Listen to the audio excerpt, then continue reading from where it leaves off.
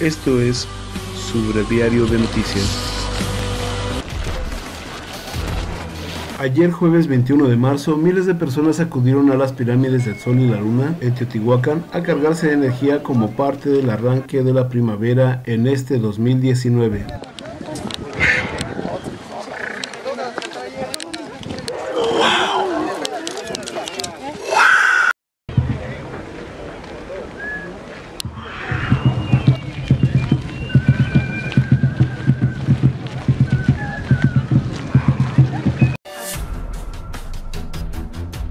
En Ecatepec, Estado de México, personal de la Fiscalía Especializada en la Investigación del Delito del Robo de Vehículos en la zona oriente realizó la detención de los que dijeron llamarse Ever, Christopher, Getsemani y Sandra N, luego de que habían robado una camioneta marca Ford tipo Expedition de color blanco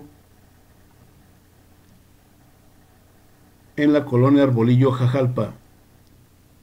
En su primera declaración, uno de los detenidos explica lo que gana por auto robado y su zona de operaciones. ¿Cuál es tu nombre? ¿Cómo te apodan? ¿Qué edad tienes? 26 años, ¿Cuál es tu domicilio? cama, ¿A qué te dedicas? robo vehículo, ¿En cuántos robos has participado de vehículos? más de 15 ocasiones, ¿Qué tipo de vehículos son los que roban? Versas, Renault, ¿De qué empresa? de Uber, ¿Cuántos se roban en un día? tres vehículos, ¿Qué lugares son los que roban? es este, ahí en Recursos, Avenida Recursos, ¿Con quién robas los vehículos? ¿Se encuentra detenido ahorita? sí, ¿Cuánto te pagan por vehículo robado? mil pesos, mil quinientos,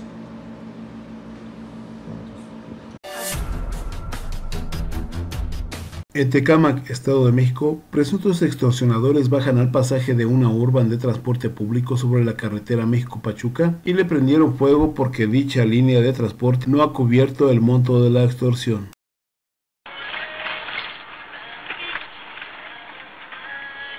afirma así es con ese treito, pero, pero pues no es novedad.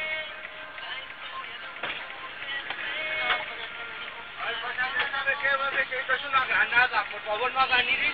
Síguete, carnal. Avánzate por acá. ¿Qué pedo con esos putos? ¿Por qué no han pagado? ¿Por qué no han pagado, mi chavo? Pues yo no Pásame sé. tu teléfono. Pásame el teléfono. Va, güey, corto, carnal. Desbloquea lo que lo desbloquee. Aquí bajan, aquí bajan, aquí bajan. Dale, pasajito. Tengan cuidado, eh, que tengan bonito día. Dios me los bendiga. Bájense, por favor. No se preocupen. No te preocupes, por corazón. Con ustedes no te Bájense, pido. no, bájense. Bájense con cuidado. Chinga, chinga, chinga, chinga, chinga, chinga, chinga. Todos para abajo, todos para abajo, todos para abajo. Chinga, chinga, chinga, chinga.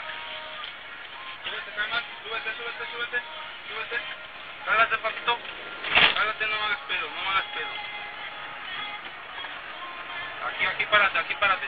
Aquí párate. Bájate de este lado, güey.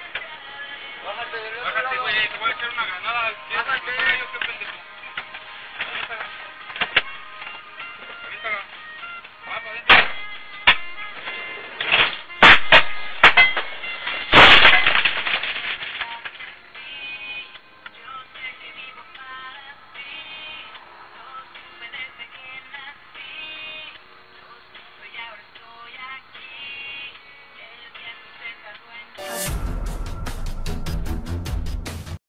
En Ecatepec, Estado de México, en menos de una semana policías municipales han asegurado tres trailers con 6.000 despensas y detuvieron a 20 personas en colonias como la Laguna de Chiconautla y Jardines de Morelos a unos días de las elecciones vecinales. Dichas unidades pagadas por el gobierno del estado encabezado por Alfredo del Mazo Maza. Al respecto, Roberto Montañez, presidente de organizaciones populares del Estado de México, pide al gobernador mexiquense que saque las manos del proceso electoral. Yo les decía sobre los camiones que encontraron con diversos, con diversas despensas que estaban vinculados con el gobierno del Estado de México, pues es muy claro lo que venimos diciendo nosotros, a pesar de que sabemos que es una elección de participación ciudadana y que la elección tiene que ser una elección democrática, sin afinidad partidaria vemos que una parte del, del equipo del gobernador que evidentemente es un equipo priista, pues empieza a generar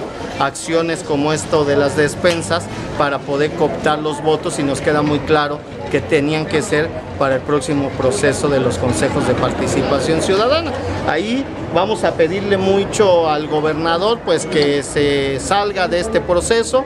Los procesos de participación ciudadana tienen que ser así, ciudadanos y pues que saque las manos el gobierno del estado de que saque las manos de este proceso interno como quiera es una elección democrática es una elección social tiene que ver con una participación ciudadana en las comunidades y nosotros trabajamos para eso, para el buen gobierno de las comunidades, sin fin partidista.